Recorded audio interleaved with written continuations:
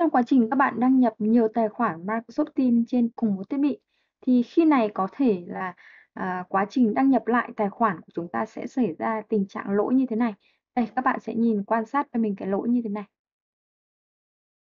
Vậy thì để khắc phục lỗi này thì bạn có thể làm theo cách sau.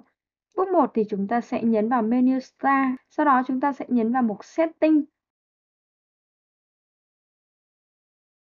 Chọn mục Account. Chúng ta sẽ click chuột vào mục là "Asset Word or School. Thì tại đây thì bạn sẽ thấy cái tài khoản team này.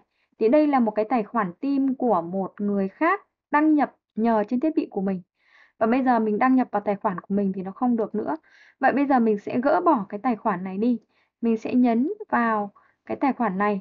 Sau đó mình sẽ nhấn vào phần là Disconnect, có nghĩa là ngắt kết nối. Sau đó mình sẽ chọn vào mục là Yes.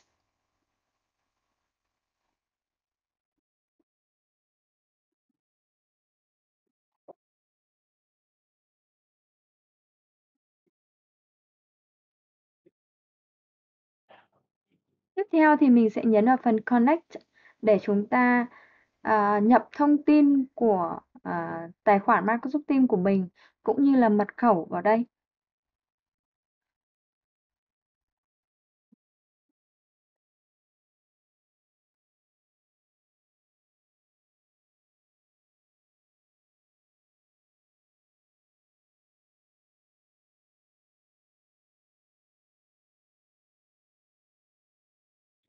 Đây, các bạn có thể ao ra và chúng ta nhấn vào phần tim Mở tim lên.